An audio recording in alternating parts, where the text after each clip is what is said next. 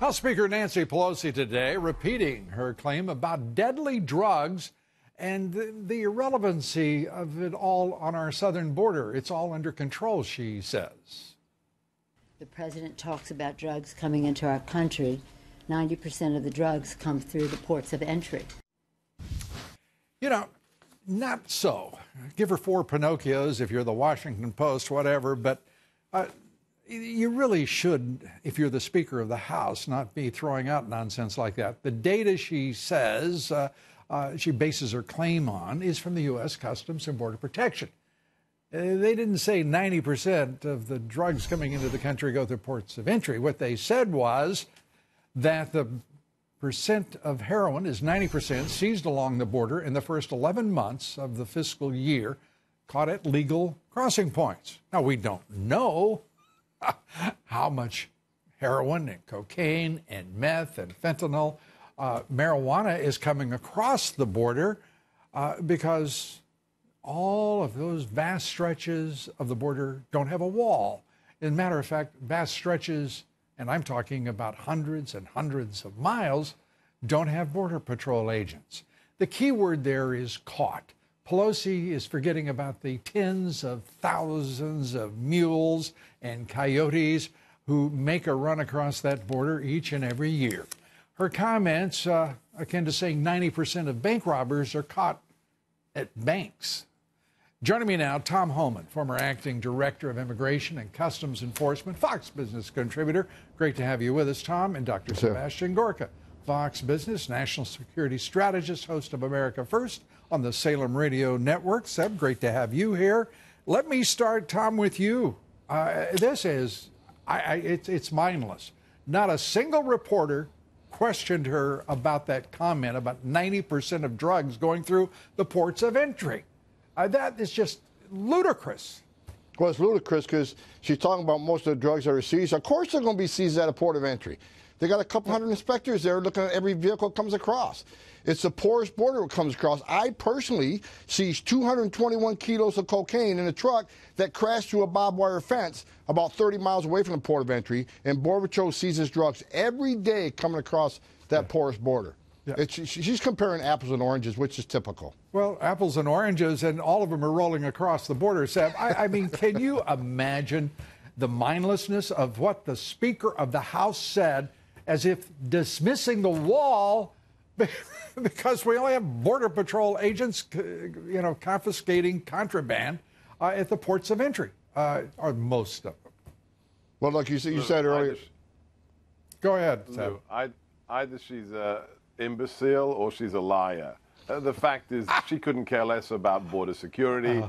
She wants to have her way, she wants to have illegal aliens come across the border to be turned into Democrat voters. Well, how concerned should how, how concerned should we be, Seb? I mean, she has just whipped the president of the United States. In this, con- uh, no, no, stop, stop, stop, and then I'll let you finish. I, you, you know, I'm a, a animated, uh, energetic supporter of this president. Yes. But you've got to call it as it is. This president said it was going to be conditional border security, building that wall, and he just reversed himself. That's a victory for Nancy Pelosi. It will be perceived as such on every television monitor uh, and screen in the country. And to deny it is to try to escape from reality. And that we ain't going to do here. It may be perceived as such, but Lou, remember, this is for three weeks. As far as I'm concerned, this is a masterstroke because this is a standoff that has been extended for three weeks. The government will shut down again, but the president, ignore what Nancy said today because that's just garbage. The president gets the pre- his oh, State of whoa, the Union whoa, address. Whoa, whoa! What she said today is garbage. You're talking about yes. the you're talking about the woman who's now the queen of the hill, partner. Eh, you know what? in her in, in, her she, own mind. In maybe her in her own, own mind, but on this broadcast, she's the winner, and I'll tell you why. Okay, the president of the United States made a condition precedent that that border funding would be there. He withdrew that condition precedent. The government is opening, and he is, is turning over this issue to the conference committee.